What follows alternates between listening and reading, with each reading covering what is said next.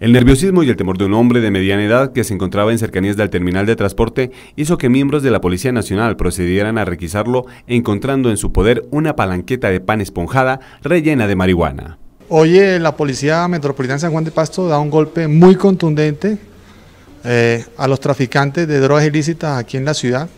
en el barrio Emilio Botero, al lado del terminal de transporte. Eh, el Plan Nacional de Vigilancia Comunitaria por Cuadrante hace una requisa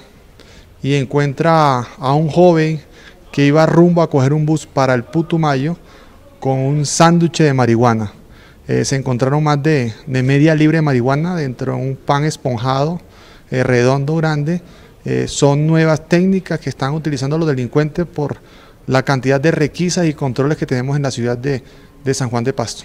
Esta singular forma deja al descubierto una nueva modalidad de traficar esta clase de sustancias en los terminales terrestres de esta ciudad. Hay una orden clara de las unidades estén cerca de la comunidad, que los cuadrantes estén requisando a las personas sospechosas, eh, notan a este joven con una actitud nerviosa, eh, la policía los aborda, el cuadrante los aborda, hace la requisa y cuando tiene la sorpresa de tener un sándwich de marihuana con más de media libre de marihuana, enfrascado dentro de este pan redondo y esa es una nueva modalidad porque determina que los controles que se están haciendo son efectivos y que las, los delincuentes están tratando de hacer cualquier artimaña para poder engañar a las autoridades. Los consumidores y expendedores de estupefacientes están buscando diferentes modalidades para transportar estas sustancias por los controles que está implementando la Policía y el Ejército Nacional. Las personas capturadas y los elementos incautados fueron dejados a disposición de la autoridad competente.